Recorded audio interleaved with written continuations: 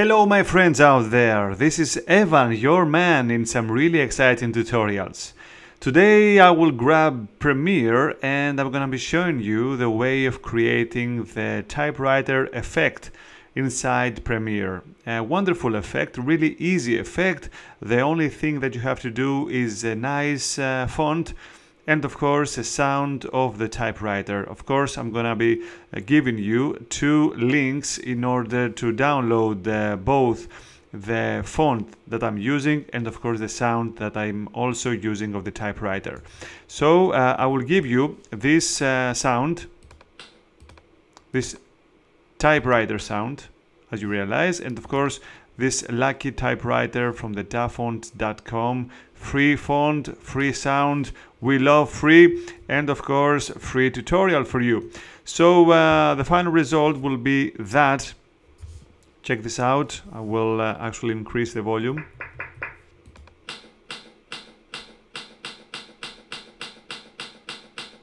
Great so uh, I will uh, use this actually uh, website. This is my website with Greek tutorials. So if you speak Greek, just go there. You will find you will find 2000 and more of video tutorials of creative video tutorials. But uh, if you're speaking English, well, uh, this is your channel. Anyway, uh, I will have to create a new title inside the Premiere. So I will go here. I will click the new item and then I will just click the title.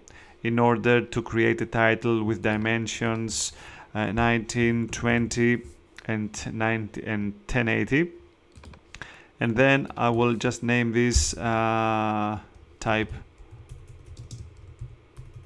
Effect typewriter wonderful and then the only thing that I have to do next is to grab my type tool from this new environment, this new window inside Premiere. And then I will just click over here and I will uh, type www.teachme.gr and then I will just uh, select all by hitting Control and A and then I will go to the font family and I will change this to the Lucky typewriter. You have to download and install the font before you open the Premiere. If you have uh, the Premiere already open, uh, you will have to uh, close it and open it again in order for the system to import this uh, font inside Premiere. So then this is my font. Afterwards, I will uh, increase the tracking in order to make actually uh, bigger distance between the the the characters. I should say at about 20 it's gonna be okay and we're good to go. Afterwards we will only position this one little better according to those guides over here the vertical guide and the horizontal. So uh, I think it is positioned uh, pretty much okay. I will just close this one and of course I will uh, drop this effect typewriter inside the new sequence. Right away I can see my new text over here but this text right now uh, it is a static text. I have to make it uh, you know working and uh, appear letter by letter each time. So we will have to use a wonderful filter inside uh, Premiere and of course I'm talking about the crop effect which is uh, over here. Of course we have to type here crop inside the effects panel and then I will drop this one over the effect typewriter and afterwards we will see some uh, extra settings over here in the effect controls panel and actually the only setting that uh, I am really interested in is uh, the right uh, setting. So this right actually if I will increase that you can see in my web uh, address over there on the right you will see that my web uh, page is getting uh, disappeared. But you know it gets linear and so I will be able to appear letters each letters every time and I will be able to make it look like typing. So uh, first of all, I will just hide the whole thing at about 85% and then I will just uh, import inside my effect typewriter sequence. I will just, first of all, I will close this one. I will just uh, drag and drop the this, uh, actually, I will just name this English and the name will be a type typewriter sound. Okay, because before it was in Greek. So now I will just drop it over here.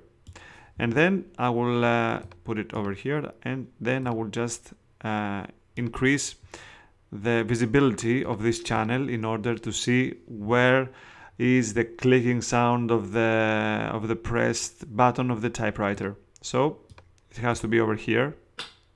You see that?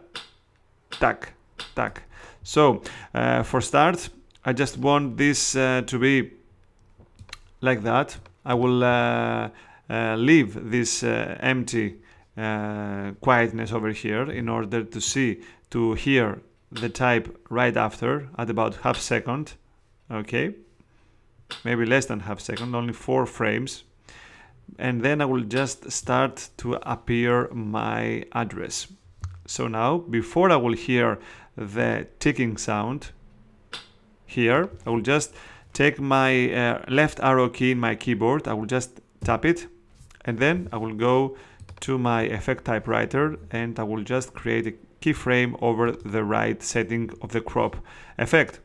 And of course, by creating this uh, this effect, this uh, keyframe over here, I have just activated the automatic keyframe. So every time I will uh, just uh, adjusting those settings, a new keyframe will be added in my uh, timeline. So then I will just go uh, one tapping one time the right arrow key in order to go to the tick point wonderful and then I will go and change this to 80 let's say. Maybe I can do this with my mouse. Maybe I can go to 78 and out of the blue I have one letter. Check this out. Wonderful. You see that? Okay. Then I will go I will just duplicate this sound by hitting the alt key and click and drag option key in Macintosh and then I will go and I will actually cut the empty the empty space before the sound. Of course here I have just deleted the click I think. Yes. And I will put this over here. So now it's like that. Let's uh, just see that. Wonderful. Have taka taka. You see that wonderful. And here I will just go uh, one uh, tapping again on the left arrow key, one frame before the tack here, let's say, and then I will go back again to my crop. I will just create a keyframe that uh, will hold this keyframe the previous 78% um, and then I will just tap my right arrow key once and now I will just lower this up in order to appear the second one. And of course I have now four keyframes. The two of the keyframes they just uh, sustain the um, the previous actually settings and the two after the two and four they actually create new settings over my crop uh, effect. So let's just see that. Wonderful. And now I can go again and uh, duplicate this one by holding the alt key click and drag my uh, my you know clip over here my sound clip. And then I will go again go here I will select my effect typewriter and then I will just create a stable uh, keyframe. And then I will go here and I will just take out also the third W.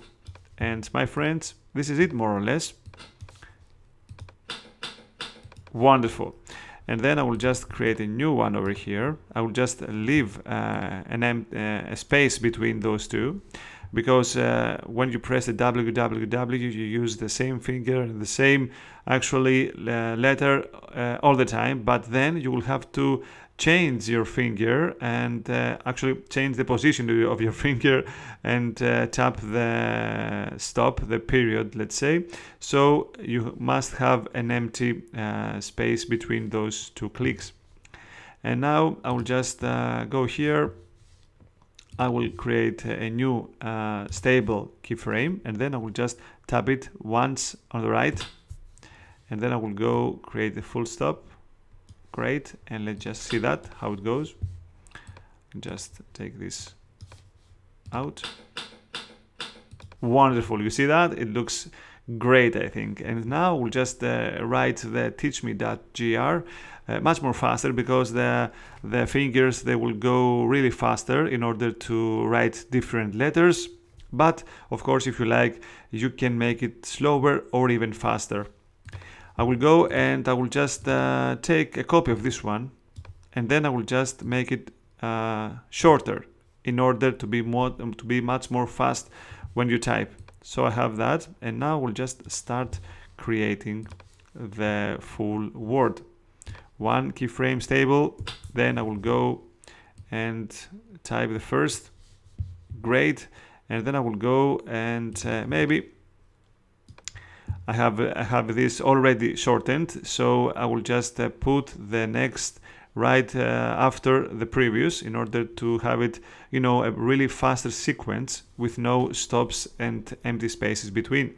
And then I will go to here and then I will just create a new stable keyframe then tap it once on the right and then take out the other letter the other character and then I will go back again front again sorry. Go here I will select again my my effect typewriter the title let's say. And then I will go and take out that. Let's just check this uh, how it looks. Because maybe it needs some uh, adjustments. Wonderful. It is wonderful and uh, I think that we have a minor a minor problem over here with this uh, little a. So I have to go to the previous keyframe which is over here. Great. And then I can just take this out at about there. Wonderful. And then I can just recreate one by one or now I can just create three new extra sounds by holding again the Alt option in Macintosh, click and drag. You see how easy it is uh, to duplicate stuff inside Premiere. And then I will go here again, create a stable keyframe, and then tap once on the right and create the next letter and the next letter and the next letter and so on. It's really easy. You see that? I don't really have to say that all the time. The only thing that I have to do is to increase the, uh, the duration of this effect typewriter title. And then I can go over here and create uh, a new again, stable keyframe, and then just go there. And then I will just copy and create four new ones in order to get also the last letter or the last character of the teach me and then I have to create as well the .gr and now I will create a new great stable and then I will just take this out. Do you see how easy? I know that uh, it's actually a boring sequence to do that in all the letters but you have to do it in order to make it good. Maybe I will just create an empty space over here between the words, the teach me word and the .gr in order to make it more realistic, but it's no problem anyway. I can go there now and now stable. Tap the right arrow key, take out the stop. Okay, and then I go there again and the same thing all over again and take this out, take the G, uh, whoopsie. Over here and then go here create this table, and then just take out the R. And we're done my friends. Let's just see how it looks like.